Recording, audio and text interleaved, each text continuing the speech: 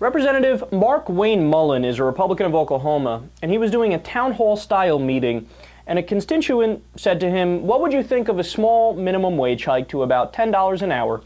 And the guy was asking because he's like, Look, I have friends and they make minimum wage. They work a full time job, but they don't make enough money to live, so would you be in favor of a hike? He responded, quote, If you want to increase it, that's great. But what you're going to do is punish everybody along the way. Do you guys want to pay $20 for a hamburger at McDonald's?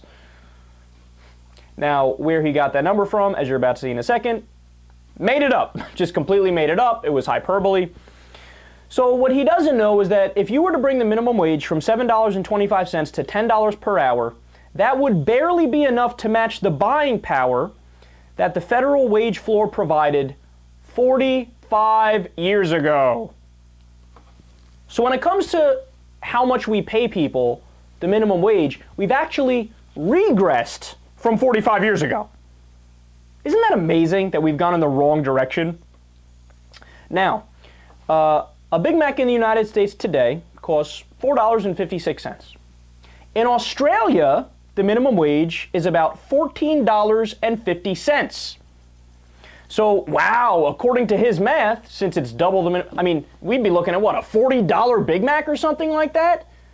I mean, that's a lot of money, man. I bet nobody buys uh, any Big Macs in Australia, right? Well, oh, look at that. A Big Mac is only six cents more in Australia. So they can pay their workers $14.50, and a Big Mac is only six cents more. And also, I mean, let's be clear they didn't even have to raise the price of the Big Mac. They could still make a significant amount of money. They could just give them a raise and not even raise the prices of, uh, of the food. But see, even if they did, it's only six cents. When was the last time you heard somebody say, you know, I was going to get that number seven for uh, $7.01, but now that it's uh, $7.07, I can't do it. Never heard it in my life. Uh, that leads me to my next point also. This guy has no idea about economics because he thinks, oh, well, the way wages work, it's uh, whatever the cost of labor is, and then it's a fixed cost above that. No. Have you ever heard of supply and demand? McDonald's will charge for a Big Mac whatever the market will bear. So your point about paying people more, it's, again, it's got there's no connection between that and the actual price of uh, the goods. And he's ignoring the societal impacts of a better minimum wage as well. A $9 minimum wage would add $48 billion in spending and 0.3 percentage points of gross domestic product growth. That's according to researchers at the Chicago Federal Reserve. A $10 minimum wage would lift 6 million Americans out of poverty. So, if you raise the minimum wage, what's going to happen? Less dependence on government, on programs like food stamps.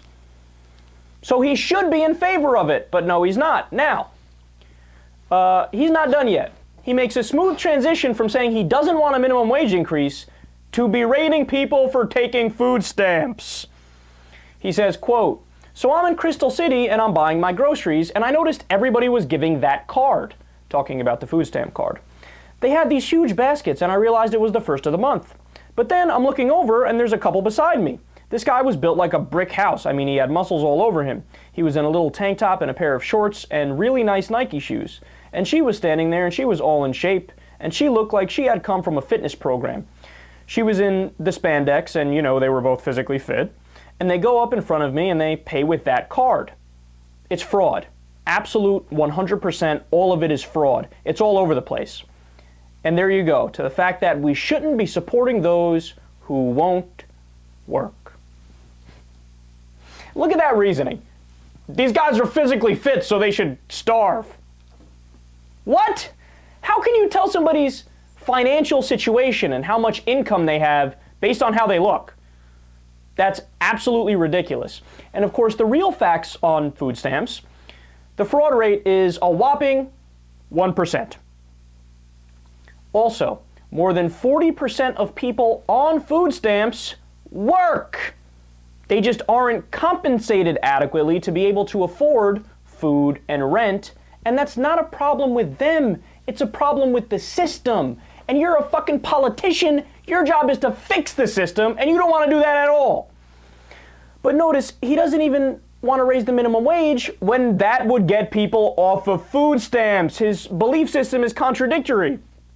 And on top of that, people on food stamps who don't work are likely to be under 18 or over 60.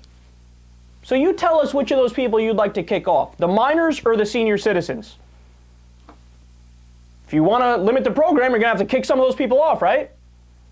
And there's really strict requirements to get on food stamps, and it actually prevents at least 50 million people that need food stamps from getting them. And keep in mind, 75% of the American people are living paycheck to paycheck. So we really should be talking about expanding food stamps and raising the minimum wage. But no, no, this guy's plan is oh, don't raise the minimum wage. In fact, probably cut it or something like that. And uh, don't do any more food stamps, so stop the food stamp program. So his plan to look after the poor is starve.